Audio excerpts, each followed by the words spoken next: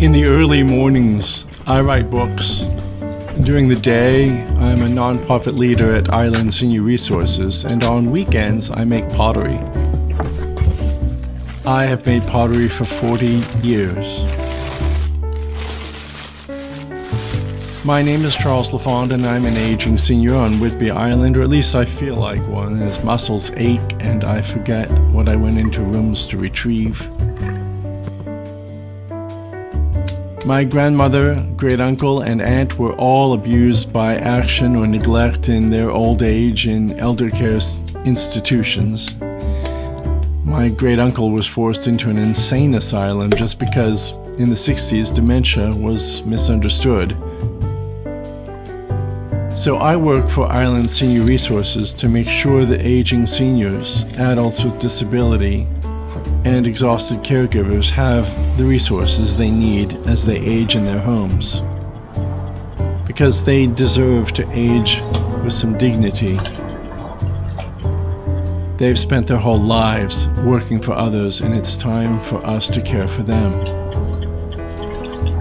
The islands of Whidbey and Camano in Island County have approximately 95,000 people on them.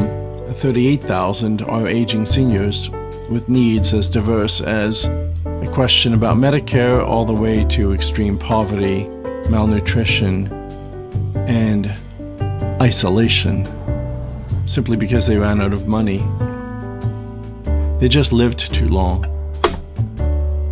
The rural poverty in these islands is its dirty secret, and I work hard every day to alleviate suffering for about 10,000 aging seniors annually. But the remaining 28,000 seniors is who I worry about.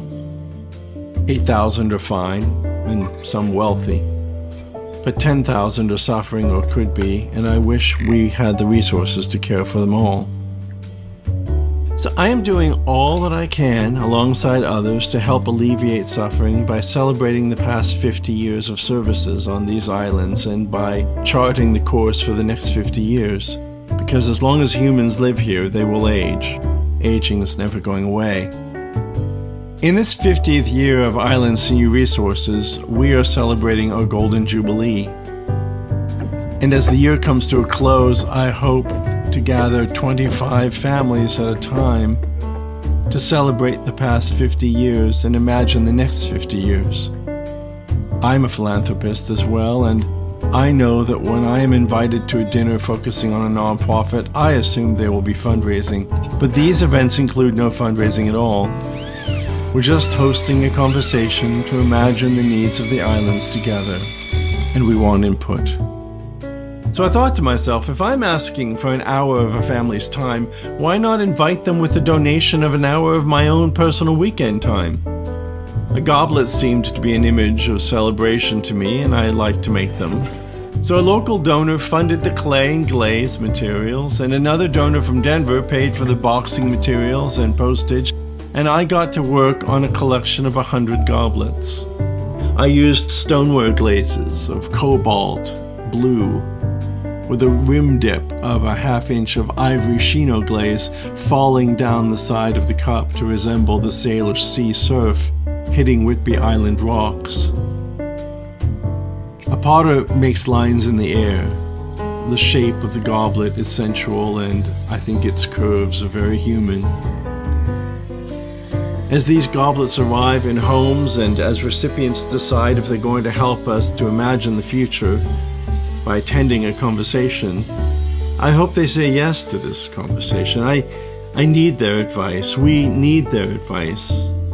We have a problem on these islands that we together can and will solve. That's what nonprofits do.